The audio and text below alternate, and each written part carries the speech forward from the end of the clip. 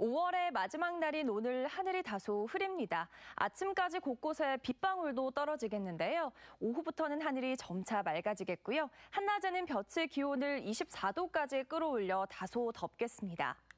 현재 위성 영상입니다. 부산과 울산, 경남 지역은 대체로 흐립니다. 기압골의 영향으로 울산과 경남 내륙은 아침까지 비가 오겠고요. 부산과 경남 남해안은 빗방울이 살짝 떨어지는 곳이 있겠습니다. 이어서 자세한 지역별 기온 살펴보겠습니다. 오늘 아침 기온은 부산이 16도, 그 밖에 대부분 지역들은 15도 안팎에서 시작하고 있습니다. 한낮 기온은 부산과 울산이 24도, 양산과 합천이 28도, 거제는 26도로 어제와 비슷하겠습니다. 특히 내륙을 중심으로는 낮 기온이 높게 올라서 일교차가 크게 벌어지겠습니다.